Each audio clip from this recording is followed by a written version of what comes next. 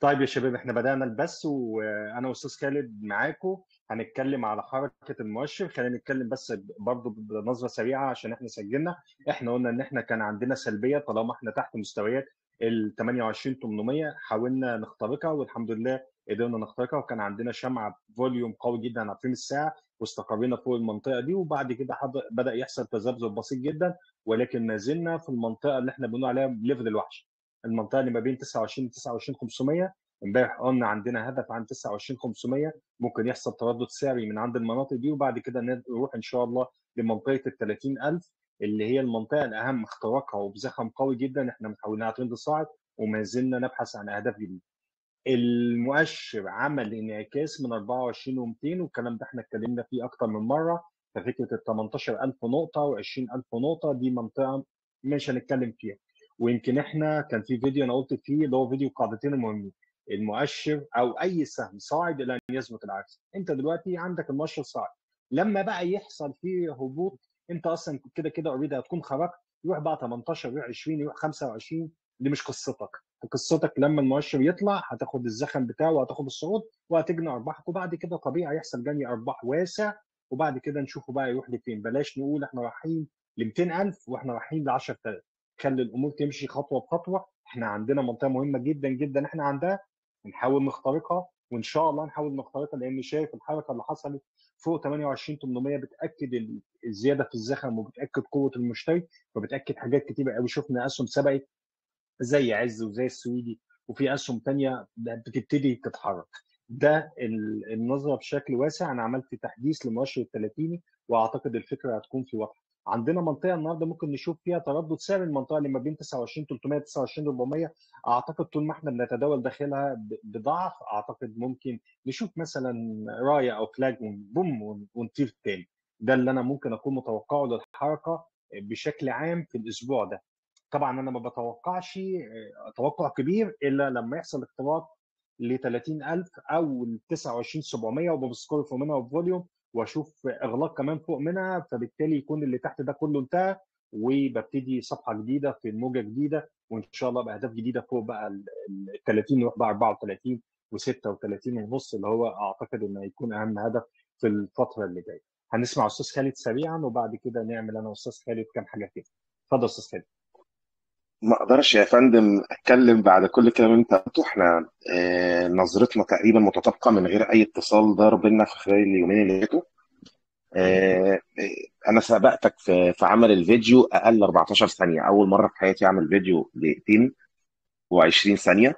آه، نفس الكلام بالظبط إلا إني أنت قلت إن أنت عن 29 350 أنا قلت ممكن نشهد بعض الضعف البسيط لحد منطقة 29 100 ده لو حصل لو حصل 29 100 خلي خلينا النهارده نتفق على ممكن نقطة مهمة قوي.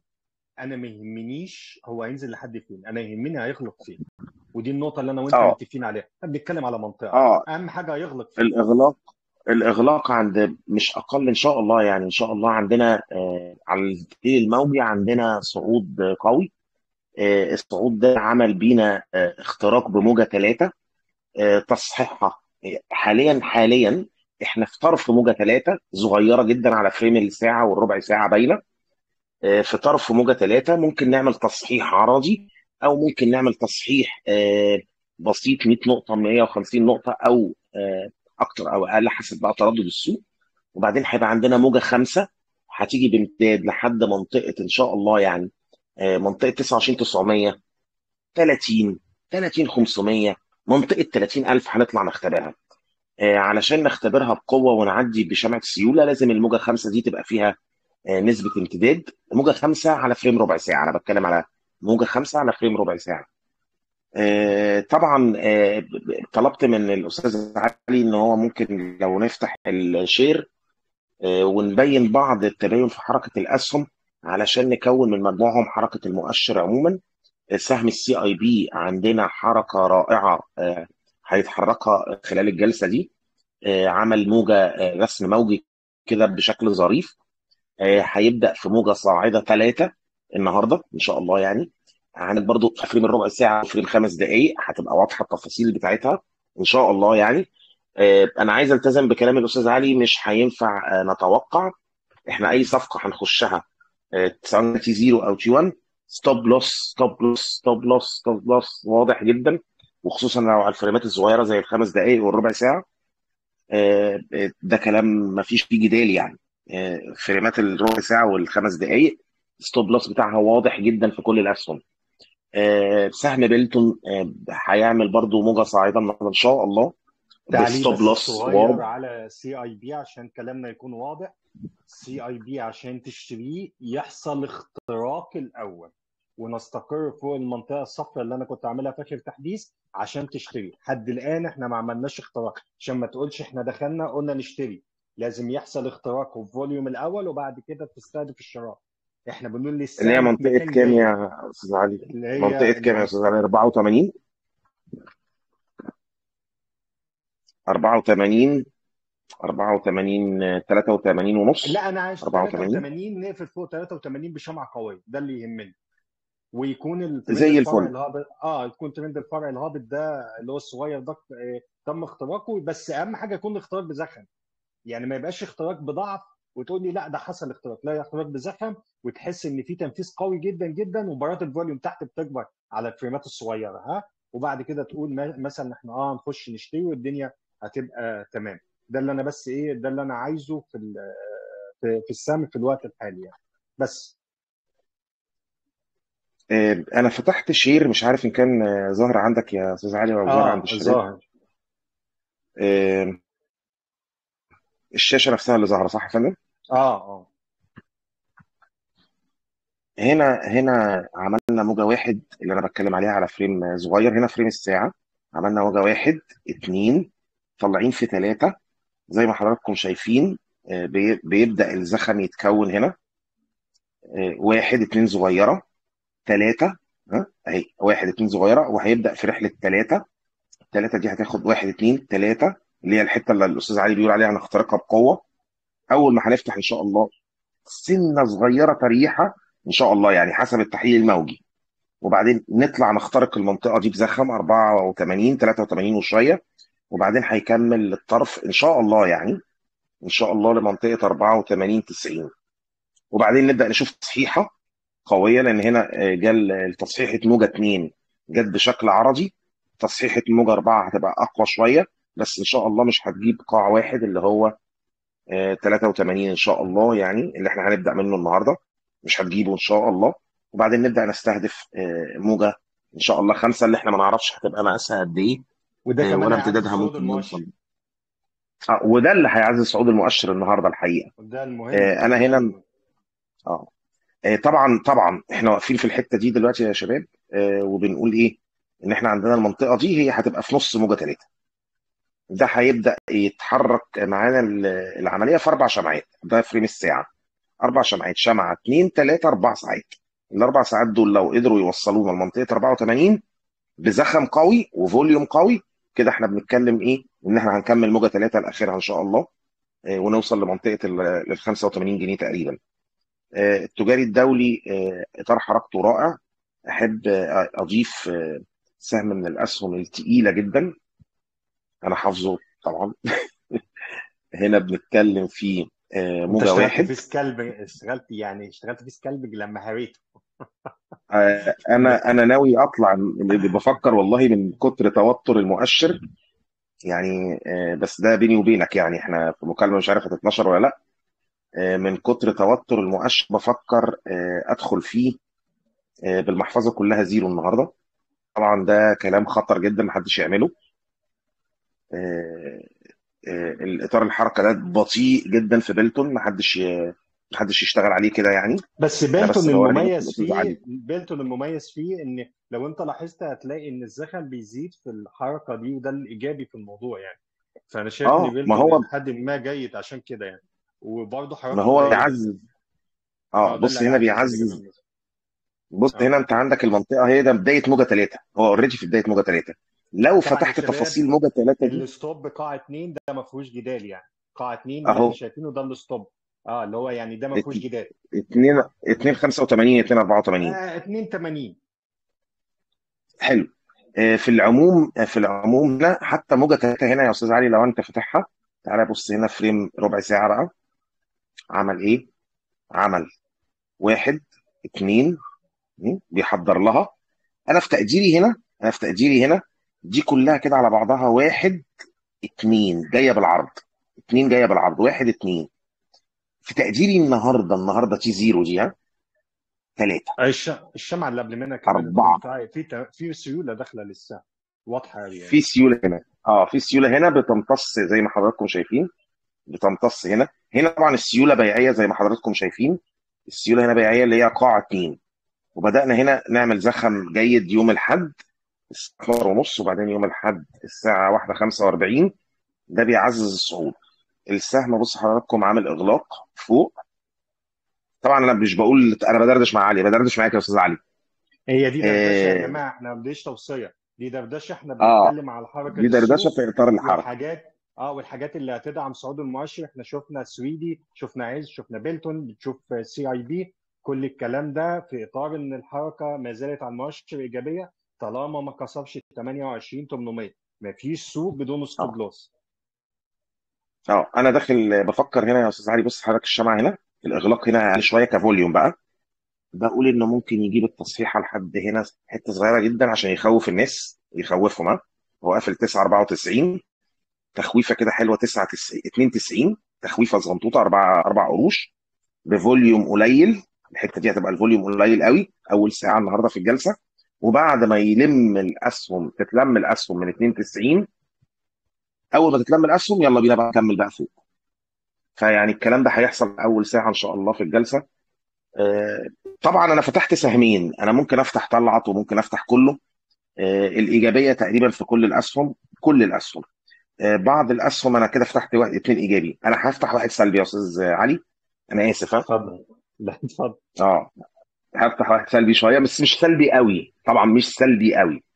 آه لاحظوا حضراتكم هنا آه موبكو موبكو هنا عمل إيه؟ آه عمل موجة واحد اتنين تلاتة وقف عند الفجوة دي ها؟ تلاتة أربعة شايف ال order block ده؟ أربعة هيبقى ينزل عند منطقة آه تلاتة موبكو وأربعين ونص هيعمل تقريبا. موجة ثالثة ممتدة. يعني اللي انت شايفه من اثنين لثلاثة ده هيبقى واحد من ثلاثة ممكن أنا أتوقع إن و- دي هتبقى والله. الموجة الثالثة آه يعني أنا أشوف إن الموجة الثالثة ممكن تيجي ممتدة في بص. لأن لسه الموجة الثالثة دي خجولة قوي على إنها تكون انعكاس. فده ممكن يكون واحد اثنين و... واثنين دي ممكن تغلس شوية ل 43 43 ونص. وبعد كده نشوف بمية حلو طبعا يا شباب للمرة بص المليون آه الموجة الثانية ووقف الخسارة بالنسبة لنا في موبكو. 42 فأنا 42 ونص.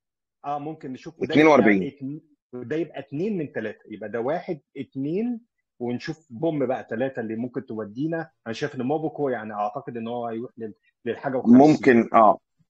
آه ممكن السيناريو يبقى إيجابي. آه. آه، مع ممكن السيناريو يبقى إيجابي زي اللي قاع بيقول. بس ممكن السيناريو يبقى على وقف الخسارة. كل تانية طبعا طبعا. على وقف الخسارة. طبعا. أنا هنا بقول الأستاذ علي أنا بقول هنا كده أنا عن نفسي شايف كده. تمام؟ أنا آسف. شايف كده. آه، أستاذ علي بيقول لي إيه؟ قد نمتد في موجة ثلاثة تبقى كده أربعة تبقى كده خمسة تبقى 47 مثلا مثلا يعني. آه، ايا كان بقى خمسة لأن خمسة دي دايما إحنا ما حدش يقدر يعرف إطارها قد إيه. فالأستاذ علي بيقول إن إحنا ممكن نمشي في الإطار. مش ه- خمسة هنا مش هتبقى معقدة وهتبقى قوية لأن الموجة الأولى جت خجولة فهيحصل تبادل بين الموجتين فطبيعي إن الموجة ال- الخمسة هتبقى قوية. بس هو الفكرة كلها برضه إحنا تمام. عايزين في موبكو نستقر في 46 جنيه ل 47 المنطقة ال- الغلسة دي عايزين برضه نخترقها عشان تعزز الإيجابية ونطير يعني. لأن هي دي أهم منطقة آه. آه، عرض إحنا بنق... يعني بنواجهها وأعتقد اختراقها وبقوة آه، يعني خلاص بقى حتى لو السهم رد بعد كده هيبقى ده بالنسبة لنا دي أول موجة من امتداد صاعد يعني. أي تراجع بعد كده بص. ل 46 47 هيكون استهداف شرائي إن شاء الله.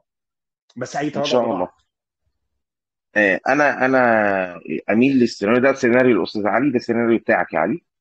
آه، أنا هنا أميل للسيناريو ده لأسباب خاصة بأحجام التداول آه، اللي ممكن نشوفها بقى ونراقبها النهارده. النهارده. الغلسه اللي على يعني اسواق أو الاسمده كمان. آه فيعني أنا أميل لده. ده ما بس بقولش إن ده أو ده الاثنين صاعدين. في نقطة فنيا إحنا لازم نتكلم عليها.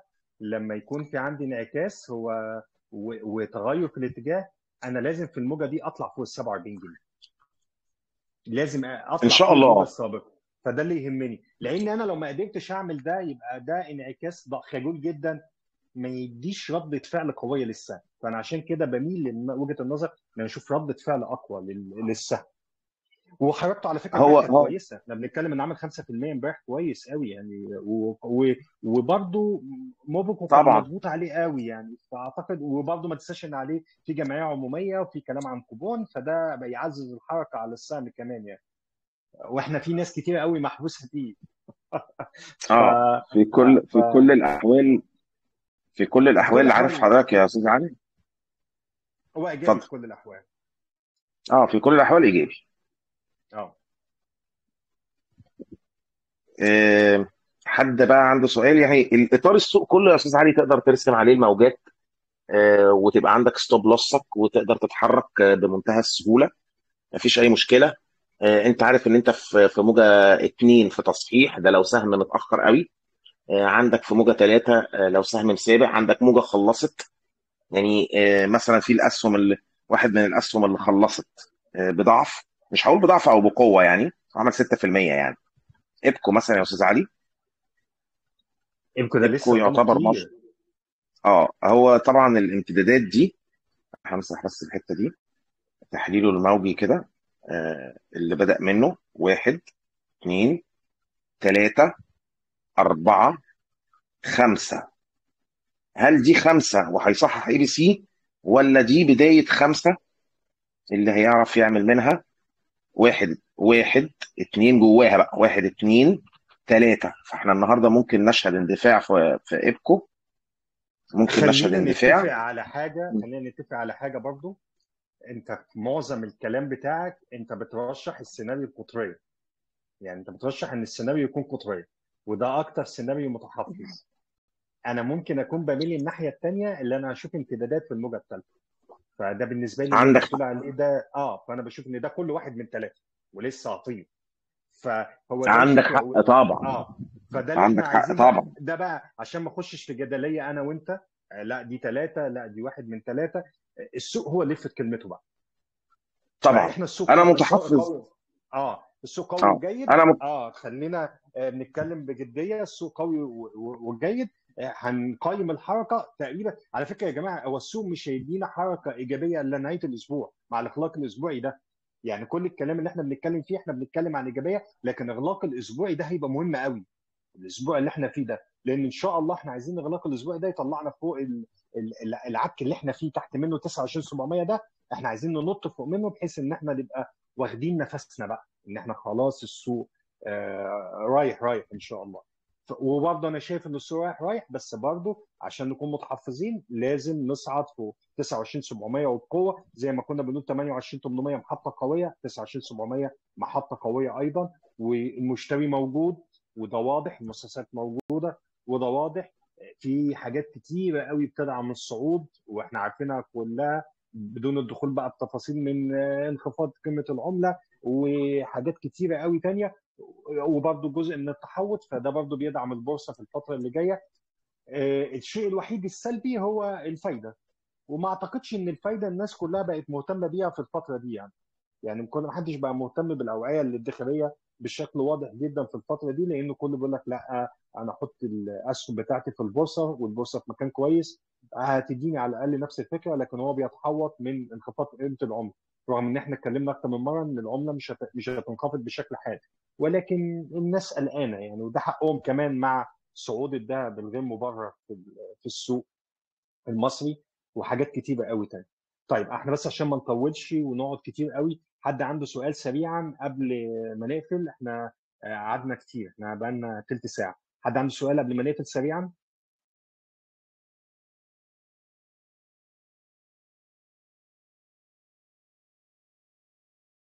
طيب أستاذ خالد عندك تعليق سريع قبل ما نقفل آه والله آه كنت هقول حتة صغيرة كده الحتة بتاعت. أنا أميل ليه للسيناريو القطريات في مناطق المقاومة يعني في بياع في بياع وأميل للسيناريو القطريات في مناطق المقاومة للأسباب دي آه، بس في العموم إحنا شفنا قطرية كبيرة جدا وعملاقة من 24 100 لحد 29 600 في مناطق دعم. يعني إحنا بنشوف قطريات في الدعم وبنشوف قطريات في ال... أنا بوجهة نظري يعني وبنشوف قطريات صغيرة في المقاومة نتيجة توتر السيولة وفئات المستثمرين المتوترة سواء كان الم- ال- المؤسسات العربية المؤسسات الأجنبية آه، الأفراد المصريين. عندنا قوة آه، واضحة جدا في المؤسسات المصرية ولكن القوة عشان تبقى آه، موجات دافعة مش سيناريوهات قطرية اطلاقا لازم يبقى على الأقل عندنا اثنين فئة من الفئات آه، تكون مش مشتري وبقوة. ده اللي اللي بيخليني أميل آه، للقطريات في الصعود آه، مش بس التاريخ اللي فات الثلاث شهور اللي إحنا تألمنا منه جميعا يعني لكن لكن خلينا نأكد الإيجابية آه، بعد ما مجموعة من من المستثمرين فئة المستثمرين تخش بعد 30000 وشوية وبعدين يحصل تهدئة ركزوا في الحتة دي قوي. هيحصل تهدئة ها؟ بعد ما نطلع لازم نعمل إيه؟ آه نطلع نخترق بعدين ننزل نعمل تهدئة شوية وبعدين نبدأ نكمل صعود تاني. فالحتة بتاعت التهدئة دي يعني آه في النموذج القطري أنا عن نفسي آه عن نفسي تألمت بشدة آه في الصعود في انتظار ال total الموجة من أولها لآخرها آه وبرجع أقول يا ريتني كنت عملت scalping عليها يعني أو عملت swinging عليها. فأنا آه، بخطتي يا أستاذ علي في التداول آه، هميل إن أنا آه، هعمل scalp هعمل swinging في المناطق ال ال الارتفاعات القطرية. ده بالنسبة لي. طبعا أنا أنا متداول صغير جدا محفظتي لا تتجاوز 10000 جنيه. فيعني مش هتأثر في سهم زي زي سهم Digitize يعني. ف... فكده يعني.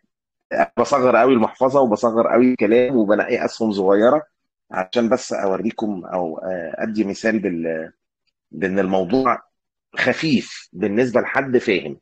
آه، صعب بالنسبة لحد ما بيستخدمش stop loss stop loss stop loss stop loss بس كده. شكرا يا أستاذ علي. العفو على إيه أشكركم كلكم وجلسة إن شاء الله جميلة. آه ودي محادثة مسجلة. اللي ما لحقش يسمعها من الأول هيشوفها وهيسمعها. آسف وصباحكم جميل. مع السلامة. مع السلامة.